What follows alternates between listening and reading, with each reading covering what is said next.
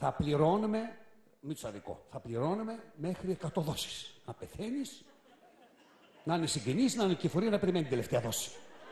Τι ωραία, ε! ε; Αιωνία η μνήμη αξιομακάριστη, πόσα χρωστούσες.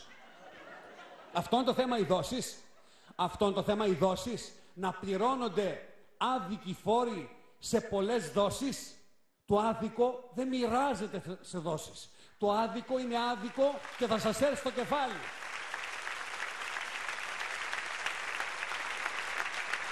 Η κατάρα είναι γαϊδάρα και γυρνάει στον αφέντη της. Εσύ κύριε, ε, θα πάρεις 100 δόσεις. Δεν μας ούτε 200 δόσεις πες.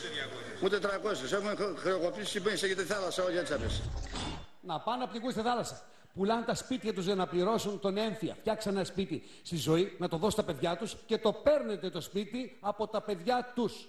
Το λέω καθαρά. Είναι καθαρή αλητεία. Δεν είναι πολιτική, είναι καθαρή αλητεία. Αλητεία, αλητεία.